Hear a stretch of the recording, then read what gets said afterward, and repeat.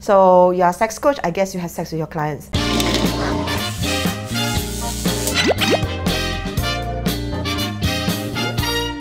My name is Martha. I'm a relationship counselor and clinical sexologist. I've always been interested in sex. It was just one of those things that I was curious about as a child. So when I became sexually active, I didn't want to be bad in sex.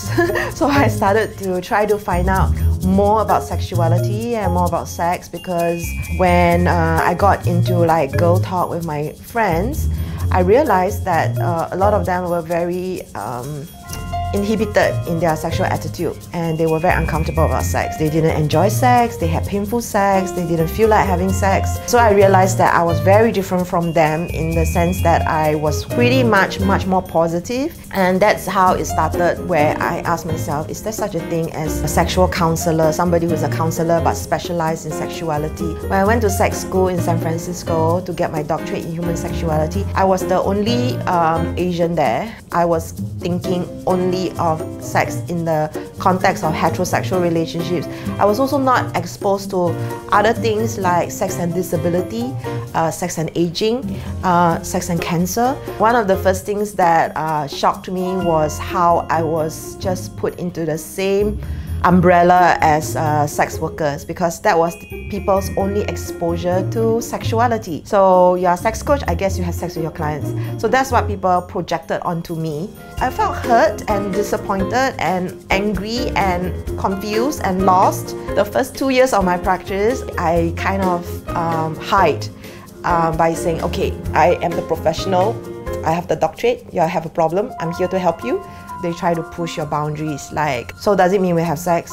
Oh, we don't have sex. If I bring my girlfriend, do we have sex in front of you? As a counselor, as a coach, we don't actually have sex with our clients. It is rare, I guess, to meet somebody who is willing to make a stand for sex and saying, look, uh, sex is not something that is scary. When you learn and you get more information and knowledge, sex is also about pleasure. It's also a way back to yourself and back to uh, love and intimacy. And if you open the papers, it's always in a negative way rape, assault. Like these stories actually do start to affect women. Like, oh, okay, that could have been me. I have worked with more than 600 couples who cannot consummate their marriage and or have vaginismus. So vaginismus is a condition that happens when a woman's vagina shuts down in anticipation of penetration and it's very very traumatic because imagine you have saved your virginity till your wedding on your wedding night find out that you cannot have sex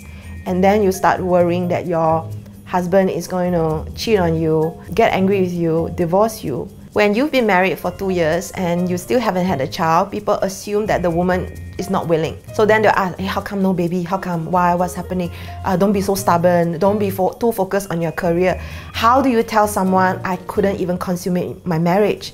and why is this always the woman's fault so that's the biggest biggest group that i work with and then i also work with people with low sex drive because they are having pain or they are tired because of work i also work with men with uh, early ejaculation premature ejaculation delayed ejaculation they want to but cannot ejaculate and people with erectile difficulties so even though there is medication that can help with erection viagra cialis levitra Sometimes they cannot take this medication if they have high blood pressure, diabetes. I do believe in scheduling sex because we are busy. We do schedule what is important for us. How is it that we are completely okay with scheduling our wedding day or scheduling a movie date, but suddenly when it comes to scheduling sex, no, cannot. It's supposed to be spontaneous. It has to be spontaneous, otherwise it's not good. But was their wedding day good? Was the movie date good? So I think it's very much what we tell ourselves. Besides using words and gestures and hands, there are of course articles and videos and visual aids. I will have vulvar cushion. So this is one of them, so I will explain all the different parts of the anatomy. It's, it's bigger than life, but it's a, it's a good teaching tool. And then I have a smaller one as well.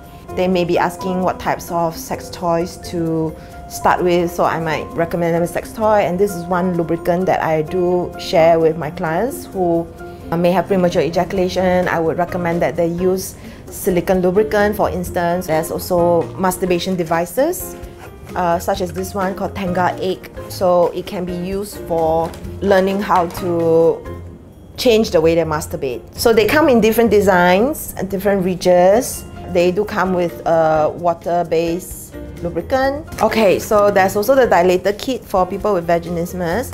They usually come in four cylindrical cone sizes, plastic, but they also have the better ones on the market, which are also vibrators. Basically, through more education, you can see a light bulb goes on inside them, and you can see their face change from sadness and depression to like hope and happiness and even joy.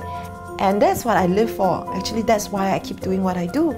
Because I, I am shocked and I'm amazed by the transformation that is possible inside them in one session. My name is Martha. I'm a relationship counselor and clinical sexologist. This is why I do what I do.